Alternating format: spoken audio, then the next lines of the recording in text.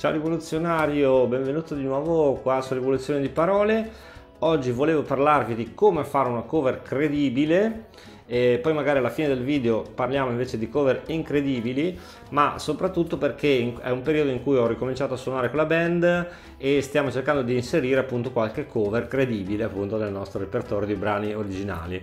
E mi chiedevo appunto quali fossero i parametri per eh, fare una cover che spacchi e quindi ho detto perché non farne un video e condividere queste idee con gli altri? Mi sembrava una buona idea e quindi eccomi qua. Ma partiamo subito.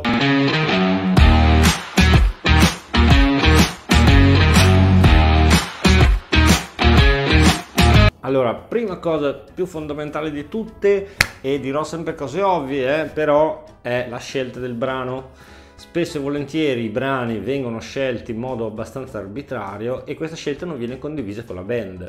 Questo è un problema perché se so, si fa il brano scelto dal cantante, però al chitarrista non piace, farà molta più fatica anche a casa a studiarselo, lo farà controvoglia e sicuramente la sua performance farà abbastanza schifo.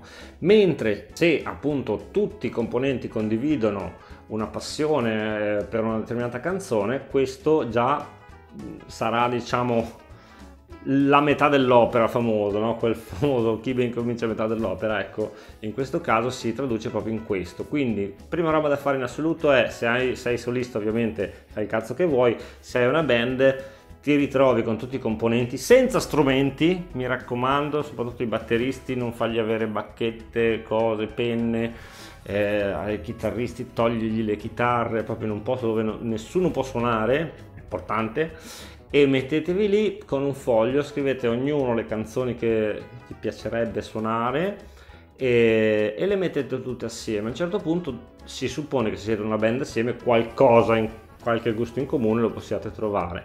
Una volta trovate le canzoni che piacciono a tutti o quasi tutti, ovviamente non è sempre possibile, scremate tutte le altre. Quindi abbiamo fatto una lista, diciamo, di mettiamo 5-6 pezzi che potenziali che piacciono a tutti. Tra tutti questi pezzi che sono emersi dobbiamo andare a cercare quelli che sono eh, facilmente cantabili per il cantante, non che eh, non siano impegnativi ma che siano cantati nell'originale a una tonalità simile a quella del cantante. Eh, chiaramente si può sempre trasporre la canzone un tono sopra, un tono sotto, però sarebbe meglio cominciare soprattutto all'inizio da un brano che eh, nella sua tonalità originale perché eh, molto spesso la tonalità stessa è una ricerca artistica importante, quindi prima di andare a cambiare una tonalità ci deve essere secondo me un buon motivo, poi ognuno ovviamente fa quello, quello che vuole. Tra le canzoni appunto facilmente cantabili dobbiamo capire quali ci rappresentano di più come testo, perché ci sono canzoni che musicalmente sono meravigliose ma che magari non parlano di noi o che noi non avremmo mai scritto. Anche queste canzoni secondo me vanno assolutamente depennate e tolte, bisogna trovare una canzone che abbia sì le caratteristiche di prima ma soprattutto che abbia un testo che ci rappresenta. Noi quando siamo lì a suonare non siamo lì semplicemente a riprodurre del, un suono, siamo lì a dare un messaggio alle persone. Quindi è importante scegliere il messaggio che andiamo a dare. Normalmente il cantante dovrebbe cercare di spiegare il testo, se è lui che ovviamente è lo specialista, dovrebbe spiegare il testo agli altri componenti, cercare di coinvolgerli magari e farli riflettere su, sul testo. Questo è molto utile, sembra veramente una cosa strana perché nella pratica vi assicuro che non si fa, pochissime persone fanno questa cosa qui, ma è davvero importante. Quindi ecco, consiglio tra parentesi anche nelle prove che andate a fare, prendetevi del tempo anche solo per chiacchierare di musica, parlare dei vostri gusti, parlare dei vostri miti e parlare di quello che vi piace. Questo vi farà eh, trovare capire meglio in generale con la band, ma questo ecco, esula un po' dal, dal video. Ma e la lingua, lingua importantissima, se sapete bene l'inglese, bene, se lo pronunciate bene, bene, ma dovete sapere ogni singola parola del testo perché una canzone cantata in un'altra lingua che non è più che corretta e pronunciata bene risulta ridicola, rovinerebbe qualsiasi performance, anche se il gruppo magari suona da Dio. Quindi molta attenzione anche a questo. se voi cantanti sapete pronunciare, cantare bene inglese e sapete imparare perfettamente a memoria un testo, fatelo, eh, però studiateci molto, se no lasciate perdere, cantate in italiano che sono tanti bei brani, chiaramente il repertorio si diminuisce parecchio in Italia purtroppo, ma comunque ci sono tanti brani che potete senz'altro fare bene. Errore che succede sempre in tutte le cover è imitare la voce del cantante. Per noi cantanti l'errore numero uno e lo facciamo quasi sempre, cioè se abbiamo un mito musicale, vocale in questo caso, tendiamo sempre, ci fa sembrare più dei pappagalli secondo me che delle persone che stanno interpretando qualcosa.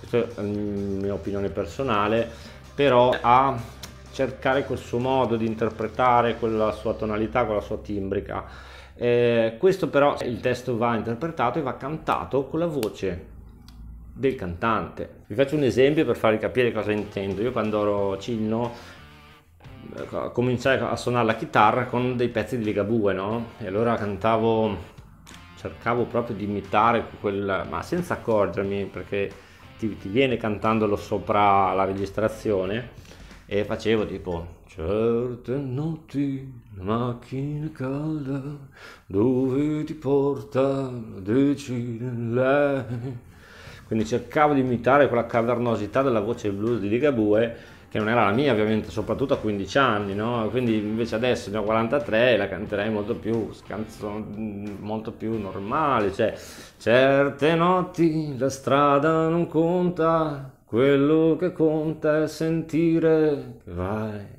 Così, normale, no? Come la canterebbe chiunque. E quindi ecco, questo fa in modo che anche se la voce eh, del coverizzante è sicuramente meno bella di quella dell'originale, però risulta più espressiva, più credibile. Se ve la canto così capite che sono io che vi sto cantando questa canzone. Se ve la canto come facevo prima, si vede che sto scimmiottando Ligabue, che questo mi rende un po' ridicolo secondo me. Quindi non imitate, tirate fuori la vostra voce, bella o brutta che sia, ma la vostra. Questo non occorre solo sapere bene il testo e capirne bene il significato, ma soprattutto anche mentre cantate lo dovete pensare il significato. Succede che appunto sembra ovvio, ma invece in realtà per i cantanti, ripetendo magari 100 volte una canzone, automatizziamo così tanto le parole che quasi succede che non si pensa al testo, anche perché siamo impegnati a trovare l'emissione, la melodia, il respiro e tutto quanto, no?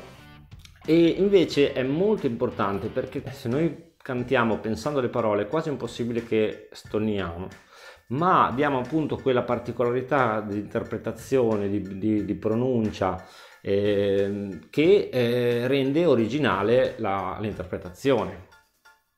E viceversa se noi cerchiamo di riprodurre il suono della parola senza pensare a cosa veramente significa molto spesso rischiamo di stonare perché in quel momento siamo, non siamo concentrati ecco, sul significato siamo come dire sembra che stiamo facendo un compito non so se, se vi è capitato da cantanti a me è capitato molte volte per l'emozione per tante cose per paura magari che quel pezzo era difficile da cantare e così mh, mm, non penso più al testo che sto, sto dicendo e sbaglio. A me succede sempre così.